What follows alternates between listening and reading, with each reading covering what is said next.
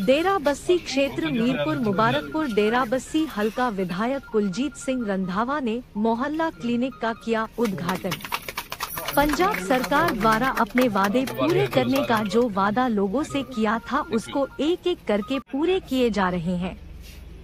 आज पूरे पंजाब में 75 में स्वतंत्रता दिवस पर पत्थर मोहल्ला क्लिनिक खोले जा रहे हैं।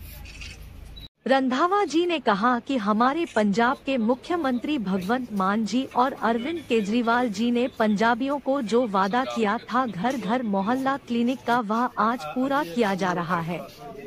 जो सहूलत जो पंजाब सरकार ने दी है इसके रिज़ल्ट छह महीने में आने शुरू हो जाएँगे। डेरा बस्सी से हरदीप सिंह की रिपोर्ट।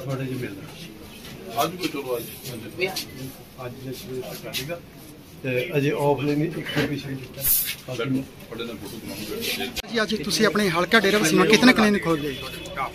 ਛੋਟੇ ਵੀਰ ਸਾਡੇ ਮੁੱਖ ਮੰਤਰੀ ਭਗਵੰਤ ਮਾਨ ਜੀ ਹੋਰਾਂ ਨੇ ਅਰਵਿੰਦ ਕੇਜਰੀਵਾਲ ਨੇ ਜਿਹੜਾ ਪੰਜਾਬੀ ਨੂੰ ਸੁਨੇਹਾ ਦਿੱਤਾ ਸੀ ਕਿ ਘਰ ਘਰ ਮਹੱਲਾ ਕਲੀਨਿਕ ਖੋਲਣ ਦਾ ਇਹ ਆਮ ਆਦਮੀ ਪਾਰਟੀ ਕਲੀਨਿਕ ਹੈ।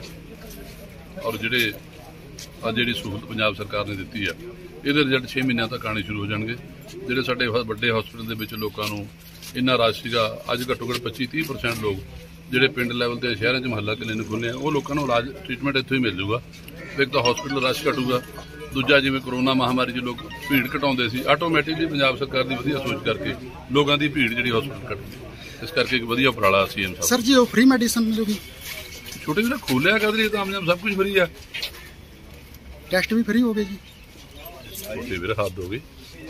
ਇਹ ਉਹ ਚਲੇ ਗਏ ਪੈਸੇ ਲੈਣ ਵਾਲੇ ਇਹ ਤਾਂ ਫਰੀ ਵਾਲੀ ਦੁਕਾਨ ਹੈ अच्छा ये- एक और दोस्तों सर एक और दोस्तों सर जी मुबारकपुर में जी लाइट बहुत जा रही है लोग बहुत परेशान हाँ जी। है मुबारकपुर में लाइट का कट बहुत लग रहा ਇੱਥੇ ਜਿਹੜਾ ਲਾਈਟ ਦਾ ਕੱਟ ਹੈ ਪੰਜਾਬ ਪੁਰਾਣੀਆਂ ਸਰਕਾਰਾਂ ਦਾ ਤਾਰਾਂ ਦਾ ਹਾਲ ਦੇਖਿਓ ਪੋਲ ਦੇਖੀ ਉਹ ਕਿਸ ਤਰ੍ਹਾਂ ਦੇਖੀ ਤੂੰ ਪਹਿਲਾਂ ਪੋਲ ਦਿਖਾਣਾ ਆਪਣੇ ਕੈਮਰੇ ਨਾਲ ਉਹ ਜਿਸ ਤਰ੍ਹਾਂ ਟੇਢਾ ਹੋਇਆ ਸਰਕਾਰ ਉਹਦੀ ਟੇਢੀ ਹੋ ਗਈ ਨਵੀਂ ਸਰਕਾਰ ਆਈ ਪੋਲ ਸਿੱਧੇ ਹੋ ਜਾਣਗੇ ਬਿਜਲੀ ਵੱਧ ਆ ਜਾਊਗੀ अब उपलब्ध है 1100 प्लस डिजिटल केबल नेटवर्क पर an Android based DTH smart setup box सभी ओटीटी प्लेटफॉर्म 24 घंटे लाइव देखिए हमारे सोशल मीडिया पेजेस पर